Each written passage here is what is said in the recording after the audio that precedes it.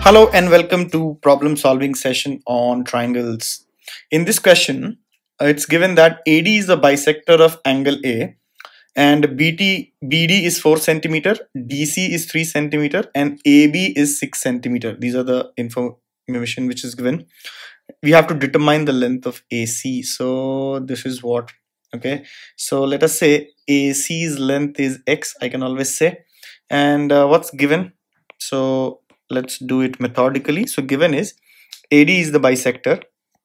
AD is the bisector bisector of triangle oh sorry angle BAC now this is good enough hint in terms of what exactly is to be done in this question. So AD is bisector which is hinting that we have to use angle bisector theorem right? And what is to find?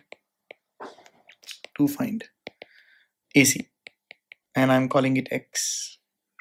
Right? Now solution. How to solve this. So by angle bisector theorem in fact internal you should also write internal angle bisector theorem because we have also seen there is an external angle bisector theorem as well. So by angle bisector theorem and as I mentioned you can mention internal internal angle bisector theorem, we know that AB upon AC is equal to BD upon DC. No problem in this. So this implies AB, we know this is 6 and AC is, uh, that's what we have to find out. And uh, BD is 4 and DC is 3. I'm not writing the units because all the units will get cancelled.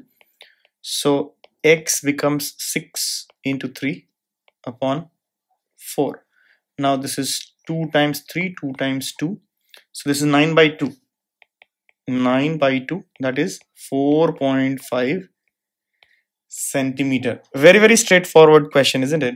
Just uh, the theorem is given or the triangle is given uh, one side is given and the two divisions made by the angle bisector is given.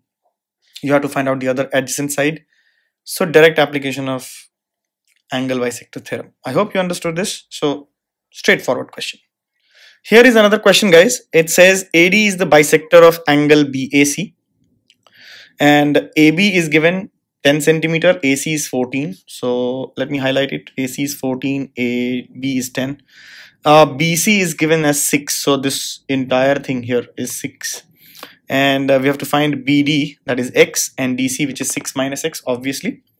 So again uh, what's given? So given is AD is the bisector bisector of angle BAC correct and because of that what will happen we know by angle bisector theorem by internal. Again you have to use internal angle bisector internal angle bisector theorem. What do we know? We know that AB upon AC will be equal to BD upon DC isn't it? So again a very direct question you know. So hence let's write AB as 10 because it's given as 10 AC is given to be equal to 14 and this is what x upon 6 minus x right? This is what would be the relationship. So if you cross multiply you'll get 10 times 6 minus x is equal to 14 times x.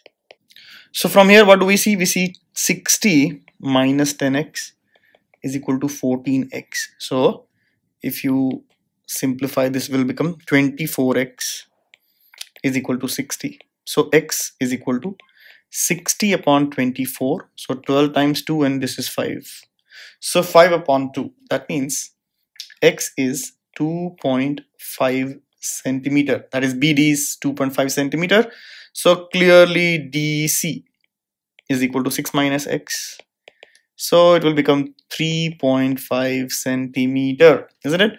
And just for the you know mentioning we have to mention x is equal to 2.5 centimeters. So these were the two demand of the question right? Bd and dc so we now know dc is this much bd is this much. So hence done. Again in these two questions we saw it's very you know the direct application of internal angle bisector theorem